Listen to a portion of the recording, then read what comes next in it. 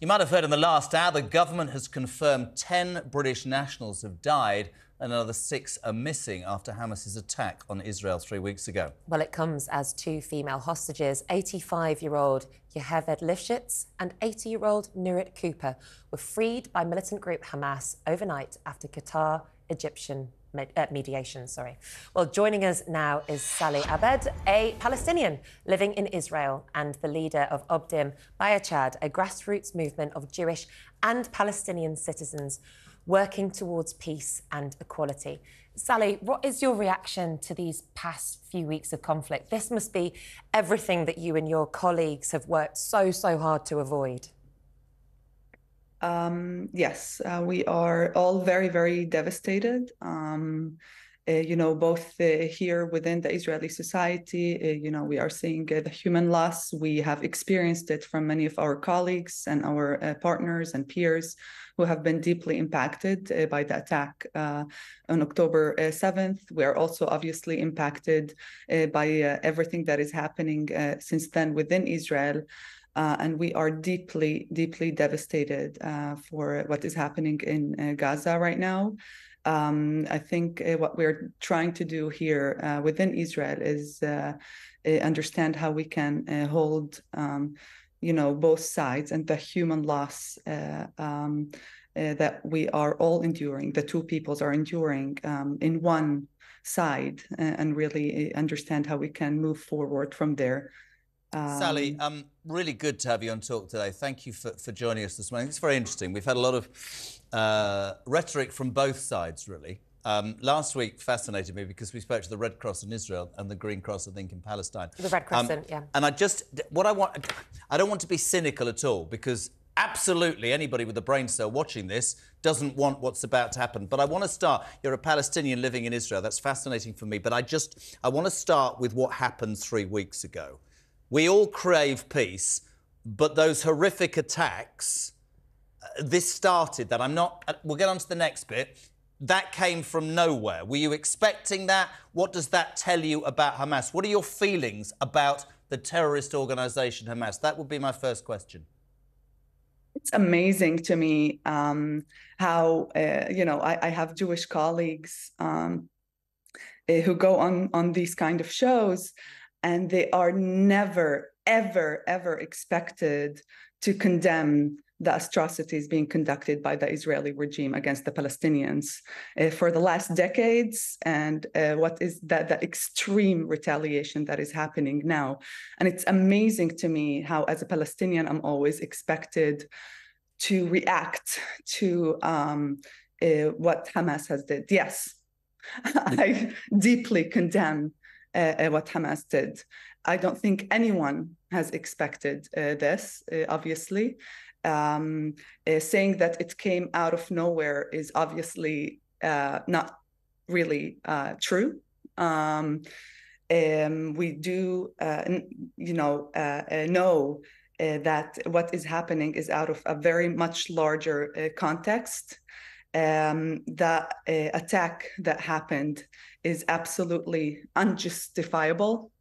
Mm. Um, and when we need to stand and talk about it, uh, we need to condemn Hamas just like we need to condemn and harshly critique the Israeli regime for the last several decades, but especially the current government that has openly you know, uh, uh, uh, politicians who are openly calling for the annihilation uh, of Gaza and of Palestinians, who are openly, uh, you know, sending, backing um, settler terror in the West Bank right now, um, and are maintaining a very, very violent uh, control over the Palestinian people. Now, I am here to tell you that we that's exactly what we're trying to hold, which I think in many ways uh, you guys are failing to hold. This kind of duality um, that really understands that while we are talking about Hamas as a terrorist group and con condemning harshly again and again, as we must, the attacks that we endured as Israeli society here in Israel, we need to acknowledge the Israeli regime and the oppressive Israeli regime and the catastrophe that is being conducted right now in Gaza and in the West Bank. Sally, We are talking about persecution, political Mm. persecution of, poli- of, of, of Palestinians here within Israel. Our solidarity towards our people and is being criminalized. We are being fired from our jobs, expelled from universities, arrested for posting things about Gaza, not about Hamas, Mm. not about the occupation, about Gaza and its people and its children. Can it's Sally, nearly sorry. 2,000 No, no, dead Nick, go. children, Go, and go, that's being criminalized. Sally, can I just So what I'm trying to understand, no, no, I have one more thing. Sure. What we're trying to do here at Standing Together is holding that duality, the devastation of human loss that we're both feeling, Israelis and Palestinians. And you need to do the same and play by those rules and condemn both both sides that are responsible for these catastrophes. I understand. Sally, can you help us out here and give a bit of context as to what life was like for people living in Gaza for the past few years, but but prior to the, the horrendous attacks that happened on, on October 7th? We just want to, I just want to personally understand what was already going on in Gaza for innocent civilians and what life was like for them, as you said it, under the Israeli government. Um, I, I'm not sure I can uh, uh, give you a full testimony. You know, no one can go into or out of Gaza. So the only people who can tell you the experience of Gaza are actually people who live in Gaza.